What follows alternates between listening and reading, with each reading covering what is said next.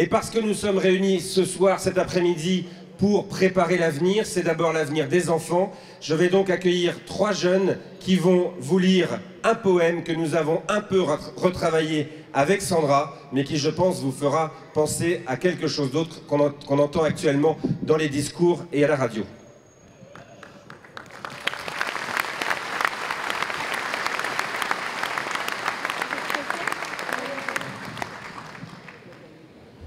Sur les champs de nos régions, sur tout le bocage breton, sur nos belles traditions, j'écris ton nom. Sur les cultures et les sols, sur les cantines des écoles, sur les lycées agricoles, j'écris ton nom. Sur les usines alimentaires, sur les fiches de salaire, sur les poules, les vaches laitières, j'écris ton nom.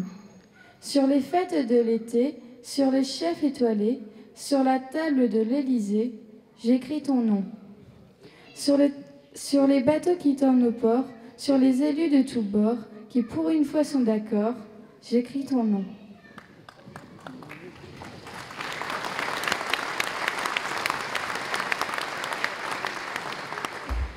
Sur les commerces de nos bourgs, sur Bruxelles et sur Strasbourg, sur les marchés et les cours, j'écris ton nom.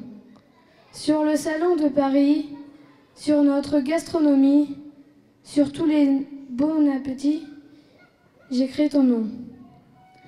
J'y suis né, tu me fais vivre, agriculture.